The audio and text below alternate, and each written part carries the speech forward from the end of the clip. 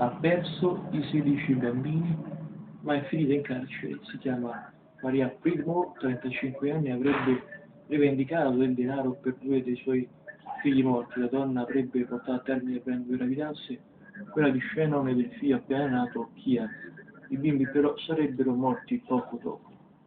Il sistema sanitario inglese prevede dei risarcimenti per le donne che subiscono tali perdite. La donna avrebbe truffato il sistema si sarebbe fatta risarcire 17.000 sterline per la perdita dei figli nati. Maria avrebbe dichiarato di essere una donna single, senza alcun reddito, quando in realtà viveva in compagnia dell'uomo, del suo, tra virgolette, compagno. La donna avrebbe avuto il primo aborto all'età di 19 anni e agli anni avrebbe continuato a rimanere incinta e a perdere i suoi a prendere i suoi bambini. Però la sentenza è stata impietuta, la donna infatti sarebbe stata condannata.